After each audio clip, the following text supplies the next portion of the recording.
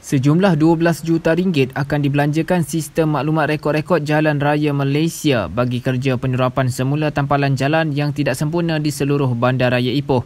Datuk Bandar Ipoh, Datuk Rumaizi Baharin berkata kerja penyerapan membabitkan 67 lokasi di sepanjang 56 km akan dilaksanakan secara berperingkat bermula pada fasa 1 pada pertengahan Mac sehingga Julai tahun ini.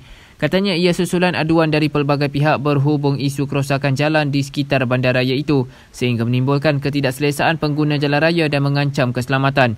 Beliau berkata demikian pada sidang media di Dewan Mesyuarat MBI pada Isnin. Romaizi berkata sehubungan itu Jabatan Kejuruteraan MBI mengenal pasti jalan yang perlu dinaik taraf dan diturap semula bagi menjamin keselamatan pengguna berdasarkan kepada keutamaan dan peruntukan yang diperolehi.